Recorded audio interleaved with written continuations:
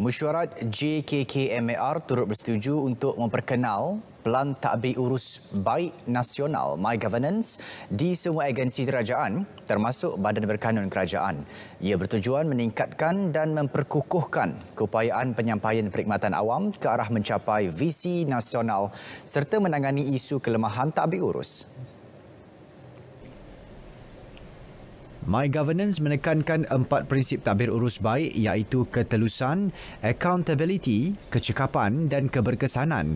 Selaras pembangunan pelan tersebut, Pengukuran tahap kualiti takbir urus sesebuah institusi kerajaan akan dibuat melalui Malaysian Governance Index MGI. Perdana Menteri berkata satu jawatan kuasa khas bakal diwujudkan bagi membangunkan My Governance. Kajian dan sesi libat urus akan turut bersama pihak berkepentingan akan dilaksana Pusat Governance, Integriti dan Anti Rasuah Nasional GIACC. Inputnya akan dibentang pada mesyuarat JKKMAR akan datang.